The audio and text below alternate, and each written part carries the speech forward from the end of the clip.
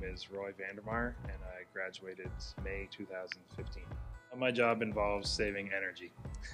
uh, there's lots of different ways. We've done a lot of lighting upgrades, switching over to LED. Uh, we upgrade equipment to Energy Star equipment. We put together programs for staff to follow, so we kind of change the human behavior aspect.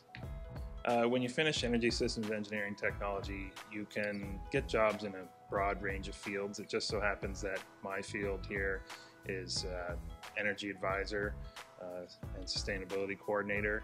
However, you could be in the renewable end of things, bioenergy, commercial energy auditing, residential energy auditing, solar industry, the options are really endless. You could work with uh, small businesses, big corporations, municipalities, government.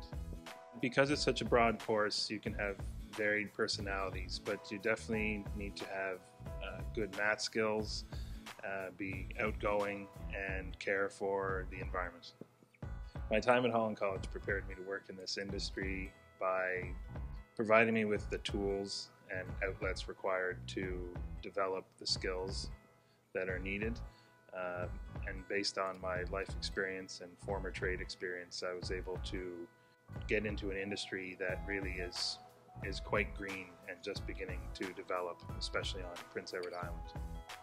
I enjoyed being uh, an adult student and going back and having a completely different look at uh, education and what it offers you in the future and being able to help some of the uh, younger students coming out of high school.